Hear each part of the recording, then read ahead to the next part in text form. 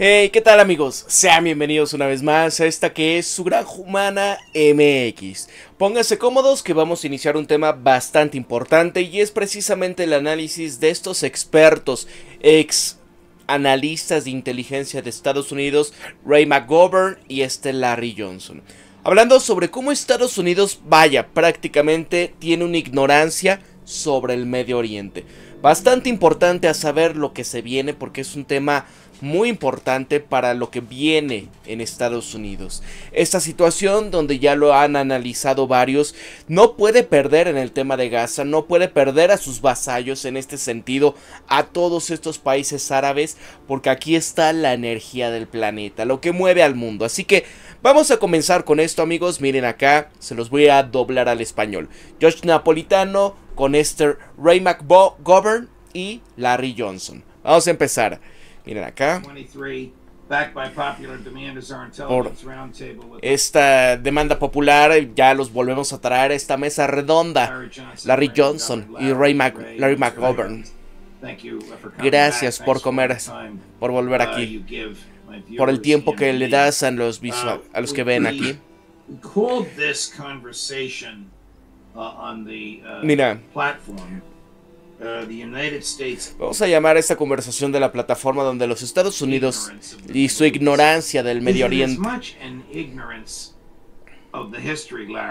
Es mucha ignorancia de la historia como lo estamos viendo o es algo intencional viendo hacia otra parte por nuestra política doméstica. Uh, Mira, no, yo creo que esto es una ignorancia genuina. Porque tenemos un lobby muy importante aquí, la organización en Estados Unidos, de su eh, acción política israelí. Uh, y ambos, demócratas y republicanos, que genuinamente, pues bueno, han doblado la rodilla para uh, ante ellos en la anticipación de sus contribuciones financieras gubernamentales en sus políticas y de sus campañas políticas. Y claro, todo esto es un paquete bastante fuerte por este lobby. A ver cómo um, Déjame replantearte la pregunta, Larry. Antes de octubre 7, tres de nosotros creíamos que la intervención de Ucrania fue la más propagandizada uh, en la era moderna. Y vaya, quiero volver a ello en algunos minutos después, pero ¿cómo? ¿Qué tan agresiva y efectiva o ¿Qué contraefectivo fue uh, la propaganda israelí para los estadounidenses? Aquí está Ray McGovern. Simplemente me refiero a que los medios no han mostrado ningún signo de ser objetivos. Ojo amigos, porque paréntesis acá.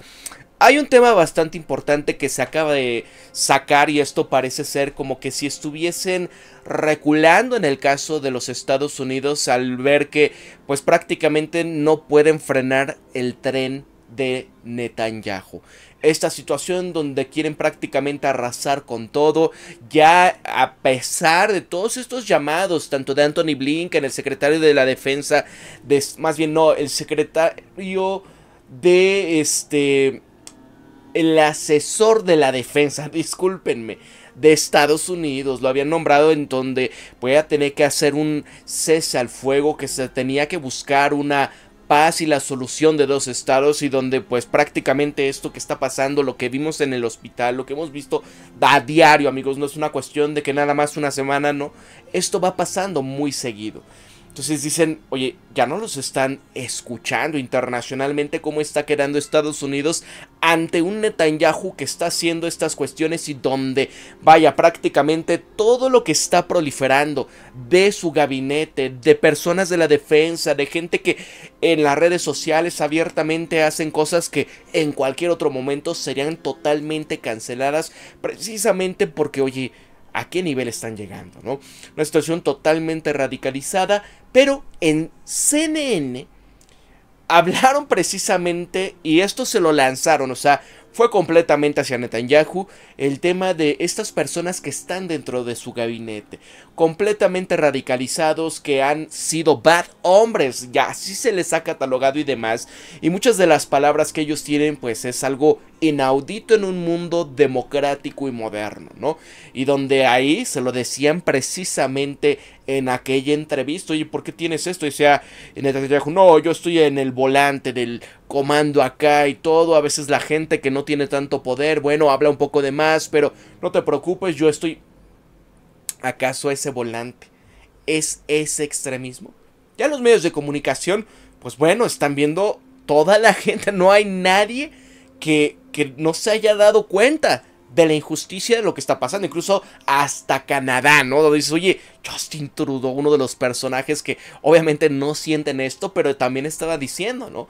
Pero parece que el día de ayer, donde tenían que empezar ya a recular en este sentido, no se justifica bajo ninguna circunstancia lo que estamos viendo allá, ¿no? Entonces, volvamos acá con Ray McGovern. Mira, aquí hemos visto una pequeña fotografía. El hospital en, en la página frontal del New York Times. Los medios están cautivos por este sentimiento sionista y también el Congreso y el Senado y la Casa de los Representantes. Yo no estoy de acuerdo con Netanyahu en mucho de lo que ha dicho, pero lo que sí ciertamente estoy de acuerdo es cuando él decía, fuera de las cámaras. Hace unos años tenemos incluso el video. Amigos, es que es esto, ¿no? Es donde dices, ¿Dónde está el poder? Mira, los eh, que apoyan, los estadounidenses que nos apoyan, es 80%. Es absurdo. Netanyahu. Bueno, si es absurdo. Para, apuntar quién controla los medios.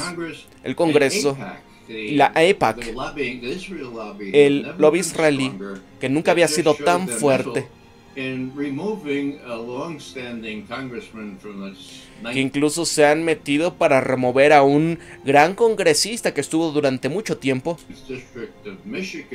el de Michigan, uh, con una terrible herencia. Su uh, nombre es Levin. Uh, y lo removieron en favor de una mujer que por supuesto es judía.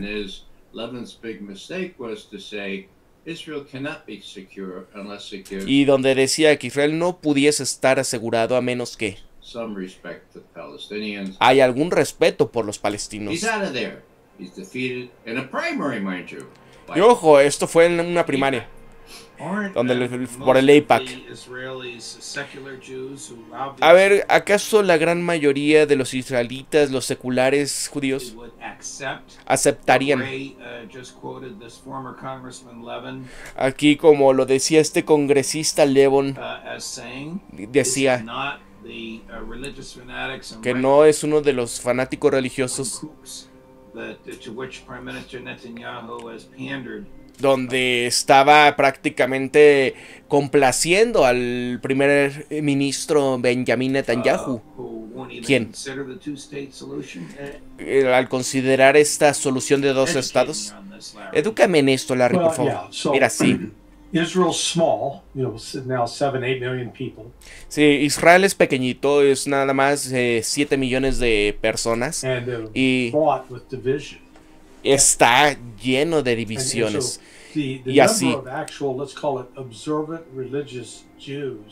Y los miembros de este colectivo, de los que pudiésemos llamar, ¿no? Los judíos religiosos, por supuesto, aquí nada más este, es el 14% de su población. Uh, Quizás un poquito más, pero dentro de eso tienes los ultraortodoxos. Pero los ultraortodoxos no son sionistas.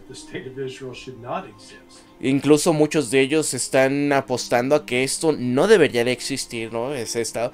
Y, y ustedes lo han visto, ¿no? Cómo dice, oye, ¿acaso ellos ahora son los supuestos antisemitas que dicen por ahí? Porque dice, oye, mira lo que les están haciendo las fuerzas del orden en Israel a esta persona. Oye, pero si ellos son los más ortodoxos, ¿no? O sea, ¿a dónde está toda esa cuestión?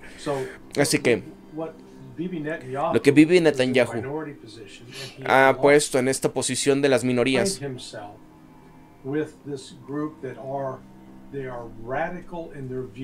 y donde él pues, prácticamente en algún momento se enarbola en estas cuestiones y donde él se hace un radical donde usan a esta retórica de la Torah uh, como lo y lo utilizan cuando les es conveniente, ¿no? O sea, cuando ay, es que hay que cumplir los acuerdos de esto y que el tercer templo y que hay que cumplir todas estas profecías de no sé quién y, y declarar uh, todos lo que es Israel y Palestino debería de ser solamente para los judíos y solo para ellos. Y algunos de estos elementos de este grupo que ni siquiera están este, siéndose, ciñéndose a leyes que les prohibían mencionar a Jesús o alabar a Jesús. Y ojo, esto, si supieran los evangélicos que tanto los apoyan, pues estarían completamente en shock, porque sí, hay una ala de estas personas cristianas que dicen, ay, es que sí, porque pues bueno, ¿no? De ahí viene Jesús y todo, pero oye, si supieran por el otro lado lo que dicen eso de la Torah, ¿no? Hey, we've got to back up Israel because, you know, we back up Israel, that means Jesus, Jesus will return. No, si respaldamos a, a Israel, bueno, Jesús va a regresar. All of the messianic y so, todas I mean, las creencias mesiánicas. Uh, and, and off to the, you know, sort of a majority of the population now are y ciertamente la gran mayoría de la población en Israel no todos son religiosos. Son israelitas, pero no todos son así. Es un mundo mixto teológicamente hablando e ideológicamente. Uh, ¿Acaso los israelíes y su gente, uh, la secular, rey, reconocen que el comportamiento de los militares, combinado con el lenguaje de lo que el gabinete de Israel piensan que es un genocidio, han hecho de lo peor. Miren, se parece a vaya. a ver, ahí va. No creo eso, George. Esa es la parte más amargada de todo esto. Esta furia y esta clase de furia que hemos visto en este país también desde el 9-11. Octubre 7 fue algo que que uh, bueno, ha estado haciendo que muchos estén gritando por venganza. Y en esto, los seculares y los judíos religiosos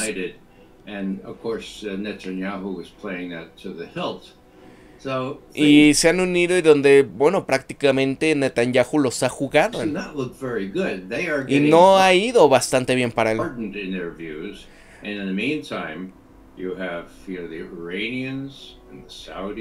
Y ojo, en el mientras entretiempo estás viendo la ira que está creciendo de los iraníes, de los sauditas, que se están uniendo y otros uh, grandes países del Islam.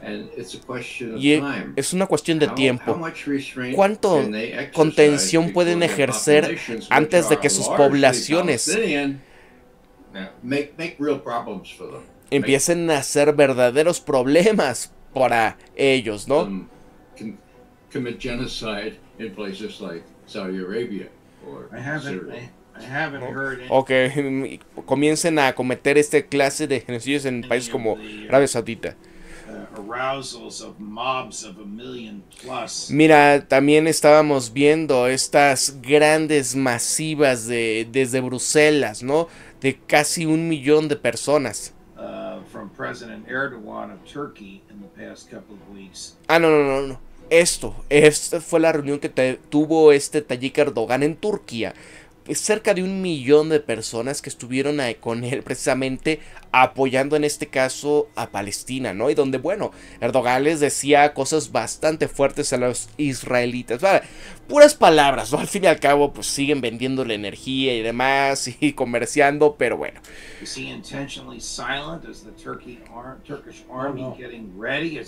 ¿Acaso se han comenzado a preparar su armada? ¿Ha cambiado algo después de eso? ¿Acaso la población árabe en la región se han empezado a, mostrar muy, muy este, compungidos por todas estas fotos de estos pequeñitos y la gran cantidad de todos estos eh, barrios que están siendo arrasados? No, no, no, para nada, no se ha bajado los ánimos, incluso este Erdogan en su discurso, creo que fue ayer o antier, que fue bastante incendiario, ¿no? Uh, Así que él tenía una gran cantidad de este, gente ahí que lo estaba escuchando. Y claro, las, las multitudes siguen creciendo en este apoyo, ¿no? Y lo que tenemos es una gran desconexión entre los líderes.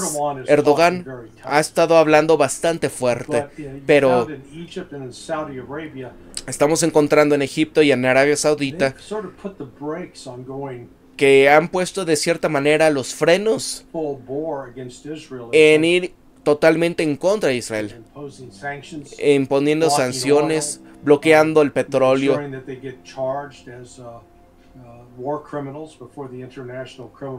Y estas cuestiones de declarar para que se hagan las eh, solicitudes de crímenes de guerra, ¿no? Um, en la Corte Internacional de la Haya.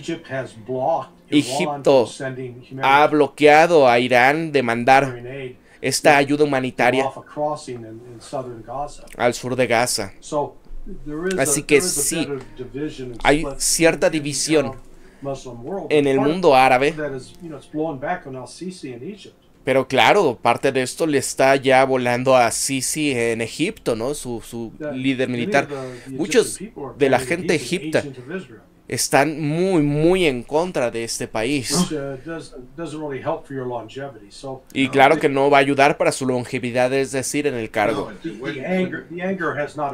Y el, la furia de la gente, por supuesto, que no ha bajado. ¿Acaso Irán es una verdadera amenaza para Israel, Larry? ¿Acaso los sirios, como lo ha dicho el primer ministro Benjamin Netanyahu, en realidad, Irán ha tenido ya una disuasión que nunca tuvo antes. No tiene quizás un arma nuclear, no la necesita. Todo es la importancia en cuánta cantidad de misiles y cohetes puedan lanzar, porque cada ciudad, cada pueblo en Israel y eso se tiene que conocer, que debe de ser parte de los cálculos que debe de tener Israel.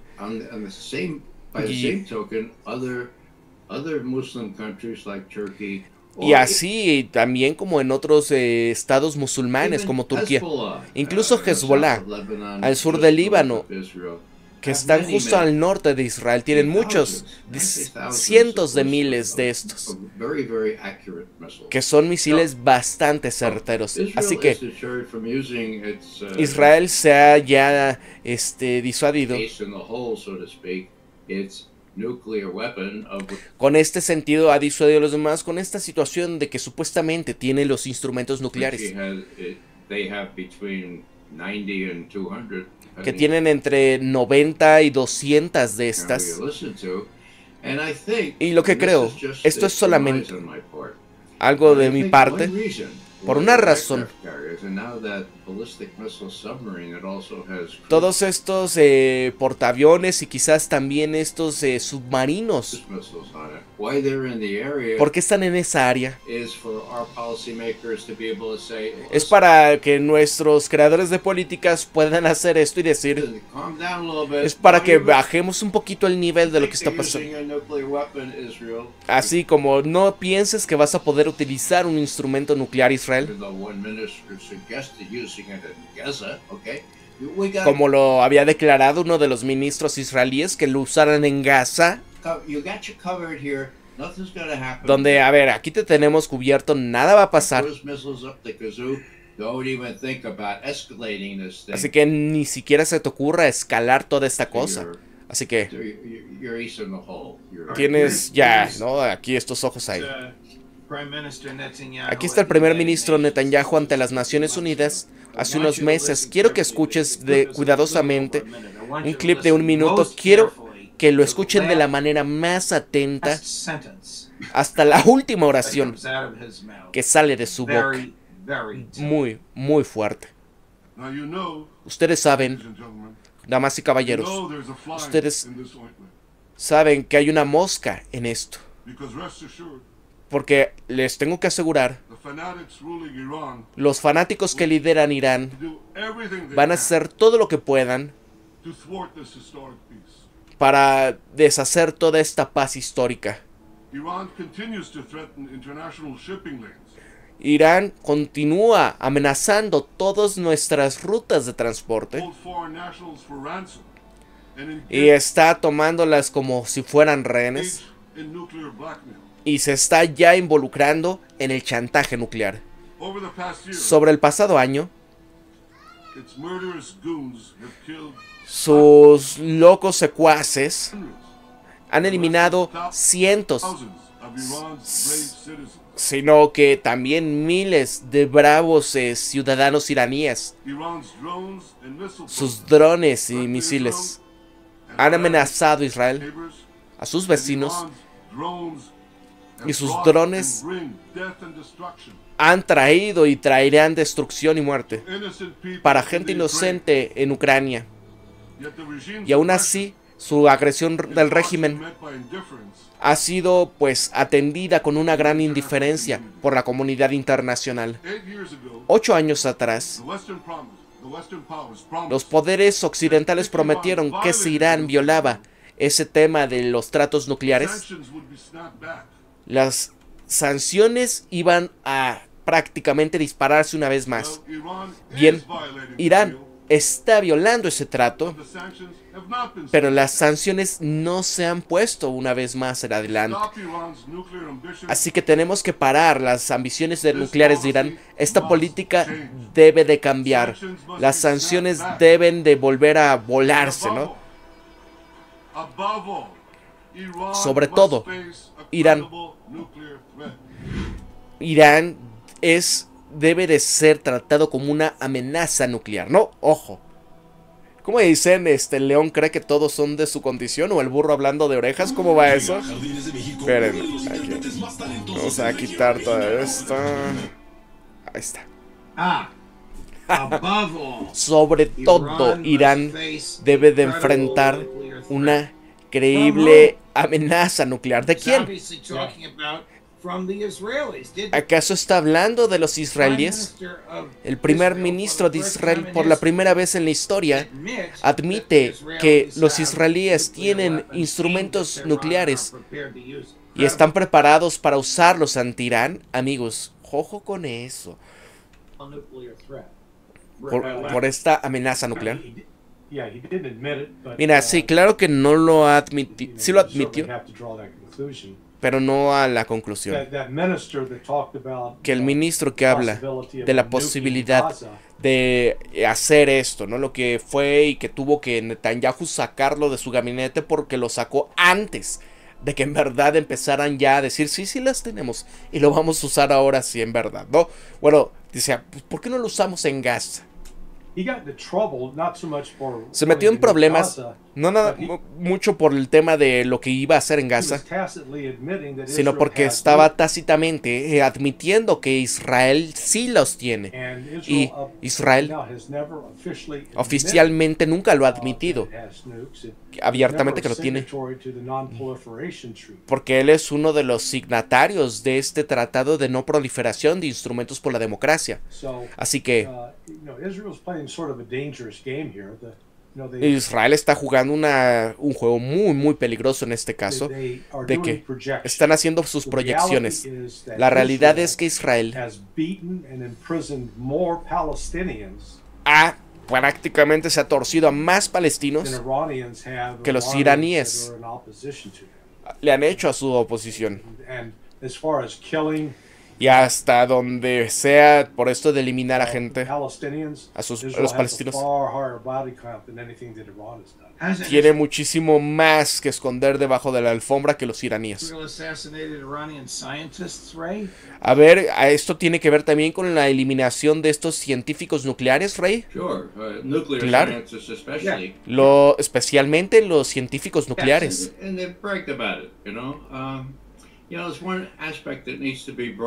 Hay un aspecto que se tiene que sacar a esta discusión y esa es que, de acuerdo a la ley estadounidense, es ilegal darle instrumentos nucleares a Israel en cualquier materia porque, bueno, porque la violación del Tratado de No Proliferación de Armas Nucleares, hay un entendimiento que si ellos desarrollan estas, la ley estadounidense prohíbe a Estados Unidos darles estas armas. Y como mencionaba Larry, nunca se unieron al NPT, que es este tratado de no proliferation. Lo que violaron y están violando la ley estadounidense. No, porque si las tienen entonces Estados Unidos no los puede ayudar de ninguna manera, ¿no? Y donde está este si Estados Unidos pues no no quiere oficialmente reconocer, ¿no? Se hace de la vista gorda. Y eso es porque, bueno, es ilegal. Y otra cosa, respecto a este tema del mundo basado en reglas, porque quien hace las reglas, pues no aplican para ti, ¿verdad? Solamente para mantener esta ficción de la realidad. De vaya que, que de acuerdo estoy con él en todo esto, ¿no? Porque ustedes siguen creyendo en esto del mundo basado en reglas negando la existencia de estos instrumentos. Y ojo amigos, por favor yo les pido que si pueden apoyar este canal a través de www.patreon.com diagonal la gran humana MX me puedan apoyar. Ya saben que la plataforma me ha castigado y así como Lius y Vaya que también les ha pedido apoyo a todos sus suscriptores, igual yo lo hago en este canal amigos. Si ustedes pueden apoyarme a mí, a través de Patreon lo pueden hacer gracias a mis mecenas que ya me están apoyando. Ya la gran mayoría prácticamente de los miembros del canal ya se han pasado para allá. Así que amigos, muchas gracias a los que lo han hecho. Desde un dolarito lo pueden hacer. Miren, continuemos. Uh, Mira, Aquí el caso también con Pakistán, ¿no? Se les dimos uno dos. Rey está en lo correcto, ¿no? Porque está en los libros, está... No, donde de cierta manera Estados Unidos va a decir, bueno, no vamos a reforzar esto, vamos a como que hacerle la vista gorda. Aquí, ¿se acuerda lo que pasó en Pakistán? Uh, Porque ellos tienen también. Y claro, Israel tiene muchísimo más dinero que Pakistán. Uh, A ver, dos puntos acerca uh, del primer ministro Netanyahu ante los Estados Unidos. Uno es, esto fueron dos semanas después de octubre 7, donde la amarga ironía era cuando estaba llamando en este caso, ¿no? A alguien más, a estos fanáticos religiosos. Y estos eh, pues matones eh, asesinos. uh, lenguaje que aplicaría precisamente para sus propios gabinetes al día de hoy. Sí, claro. How is he, ¿Cómo es que uh, él, antes de que- perceived by other heads of state? Es percibido, antes de que vayamos aquí, cómo es percibido por otras cabezas de Estado, cómo es que él los Estados Unidos están vetando nuestra resolución sobre el Consejo de Seguridad Nacional de la llamada a este cese al fuego. Larry? ¿Eso es nuestra política, Larry? Sí, is claro. Es la La política doméstica y vimos el otro día que los Estados Unidos finalmente se abstuvieron, ¿no? Porque ya esto ya empezó a cambiar, ¿eh? O sea, ya parece que dice, oye, no podemos frenar a este hombre. Necesitamos que salga, ¿no? Y meter a alguien más moderado en todo esto. En la resolución ya Estados Unidos, bueno, se puso como neutral, ¿no? Se abstuvo. Donde eh, estaba el llamado al cese al fuego. Por lo menos una pausa temporal. Creo que son tres días. Donde prácticamente se está encontrando prácticamente aislado ante las Naciones Unidas. But Pero no podemos sobreestimar la este, presión política. is able to provide. If you've watched any of the propaganda Y que videos si tú ves cualquiera de estos videos de propaganda donde estás viendo el tema de los hospitales, tienes a un comunicador israelí. Uno estaba en el Rantisi, No sé qué de hospital, y otro en el Al-Shifa. Y todo lo estaban haciendo en inglés. Bien, el lenguaje oficial en Israel es el hebreo. Así que, ¿por qué están haciendo esto en inglés? Pues porque están ya complaciendo al público estadounidense. Y el tipo Que estaba en este hospital infantil. Know, he points to a Apun- calendar, what he claimed was a work schedule for terrorists. on Estaba, no sé qué, que... A ver, a ver, vamos a ver otra vez. And the, the guy at the, at the children's hospital, you know, he points to a calendar, what he claimed was a work schedule for terrorists. Eh, ah, apuntaba algo que decía, este es el itinerario para el tema de la, de la guerra, ¿no? on the wall. En una pared. Was, it was it was a camera. It was Y era una a cámara. Era simplemente un calendario hecho a mano, ¿no? Y decía, es que esto es el itinerario de la guerra, ¿no? Pero mintieron sobre ello. El tour que tuvieran en Al-Shifa, donde estaba supuestamente este comando de Hamas, que incluso ahí alguien salió a decirme, Pablo, me decepcionas porque hablas mucho de este tema, pero ¿por qué no mencionas que ahí fue encontrado todo este tema de Hamas? Y yo, espérate, oye, a mí no me importa que te decepciones, pero hasta que no esté realmente esa información comprobada, ¿Cómo, cómo puedo yo decirla, no? Y aquí vean esto, ¿no? En el caso de que, pues, salió en todos lados en la plataforma X, vaya, todo esto, precisamente, la pifia, ¿no? Como esto del calendario. Donde empezaron a mostrar toda esta pila de cajas, donde todas estaban ya este, etiquetadas como suplementos médicos.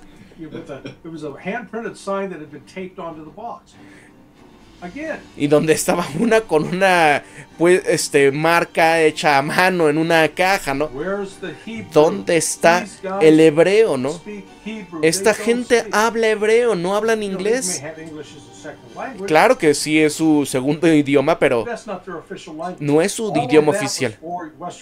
Todo eso fue para el consumo occidental. So, Ray, Así que, Rey, ¿Acaso su ofensiva de relaciones públicas have a brush- va a- tener blowback, just like their algo que les esté volando para atrás, ¿no? Que les esté reculando military offensive en su in ofensiva certain militar borders like Turkey, en ciertas cuestiones como Turquía.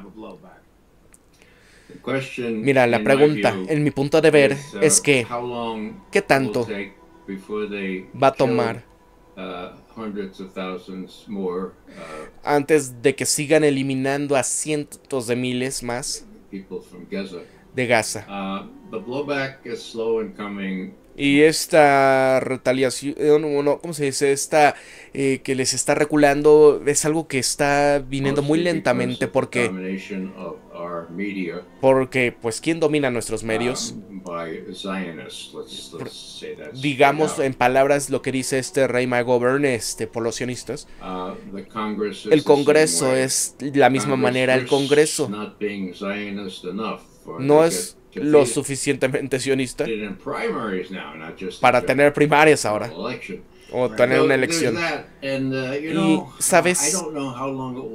No sé cuánto más va a tomar antes de que los árabes y los turcos, Iran say, "Yeah, Irán enough is enough. y es We're que digan, ¿sabes qué? Se acabó, ¿no? Suficiente, suficiente. Porque pueden empezar a pagar todas estas bases ilegales estadounidenses en Siria y semilegales en Irak. Uh, from the north, from Hezbollah Y donde van a empezar a hacer más del norte desde Hezbollah y al sur del Líbano.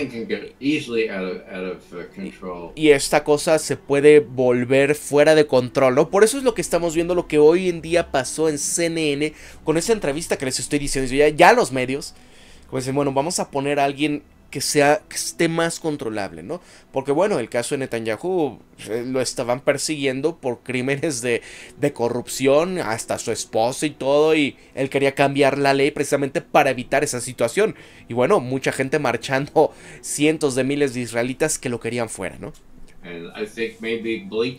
Y yo creo que Blinken y Sullivan no lo quieren.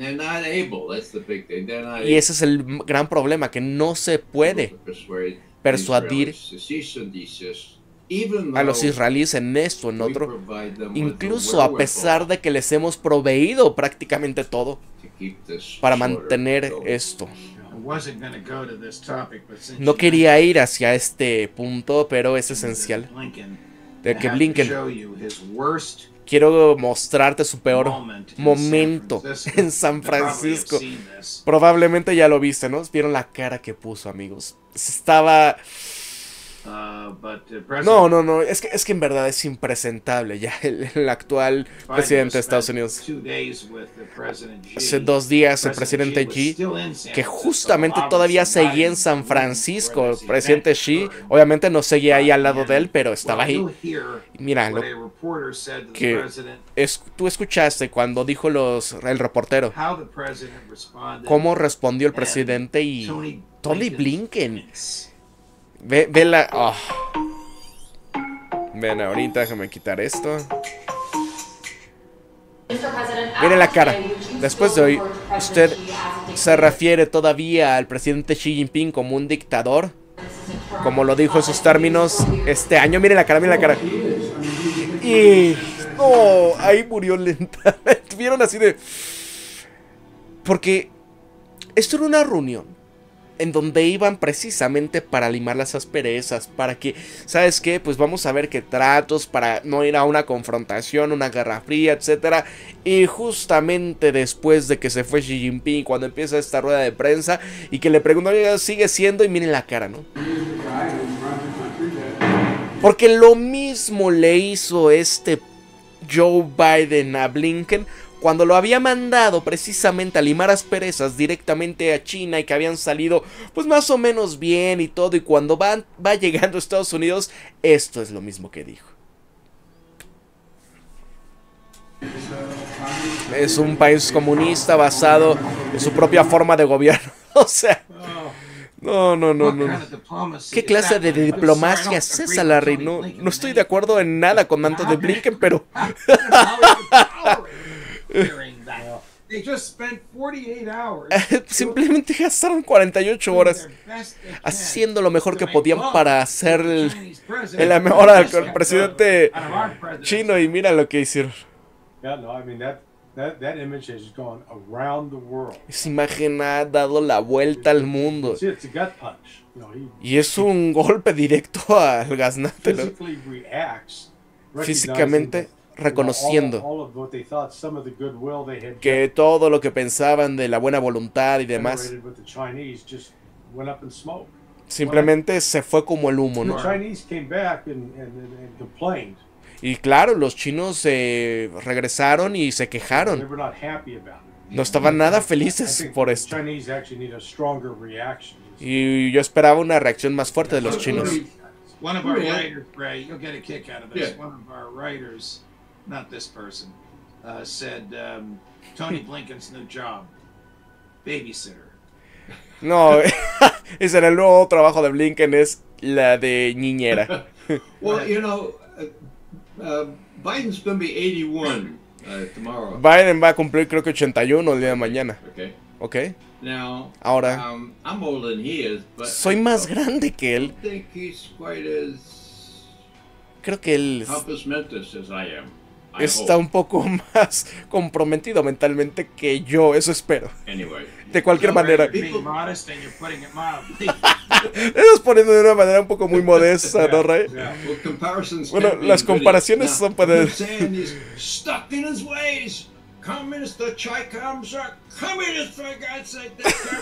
siguen siendo unos comunistas, comunistas.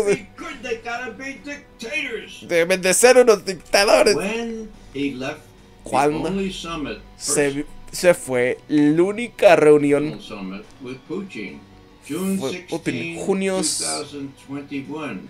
He did his own press conference. again. 2021. I don't know where Blinken was at that point. No sé cómo estaba Blinken en ese punto, pero uh, donde decía, bueno, yo no sé, le dije a Putin, we know he's got a real problem with the Chinese. They have, they have a sabemos que tenían un verdadero problema con los chinos thousands of miles of border, and they want to be the primary uh, country in Asia. He, y quieren ser los, el país principal en Asia. being squeezed by the Chinese. I, I sympathize. I told him that. Now, now that was stuck in his ways from ten, from three decades before. Where Y eso fue algo que sacó de hace tres décadas anterior, case, que no era el caso ahora, pero Nixon and Kissinger fixed that. No longer the case. For him to think that the triangular relationship was this que la relación triangular same, same that was sigue siendo como era. Cuando And estaba Nixon the Tricoms are still Tricoms and no more. y los I Chicoms mean that that that betokens a guy who's stuck in his ways, no matter how people y es un tipo que sigue atascado en sus maneras. Como Blinken y "Well, Sullivan que dicen, bueno, Joe, think of it this way." No, no. Creo que las cosas son un poquito diferentes y él dice, no, no, no. God, Y dice lo que él piensa y Dios mío. Es- hace lo que dice, ¿no? Right, guys. Thank you very much. Bien, tipos, muchas gracias. Nos vemos En la semana, gracias por su tiempo, todos aprecio um, mucho uh, haber estado con ustedes, ¿no? Y sí, amigos, una situación donde así como en el caso de Vicente Fox en México, que Dios mío, ustedes lo han no nada más escuchado hablar, ¿no? Lean los, en- en los tweets que pone. Dios mío, es, algo de decir, ya páguenle, quítenle el celular en esto. Pero bueno, para la Gran Humana MX se despide Pablo y recuerden esto siempre. Piensen críticamente, sean ustedes mismos, conózcanse de verdad quiénes son, sean empáticos amigos. Gracias a todos mis mecenas de Patreon, por favor, si ustedes pueden apoyarme, así como lo han hecho con Lius y Vaya, por favor, apóyenme en mi Patreon www.patreon.com diagonal la Gran Humana MX, ahí me pueden ayudar. Nos vemos hasta el próximo videoprograma. Hasta luego. Cuídense mucho, pórtense bien. Hasta luego.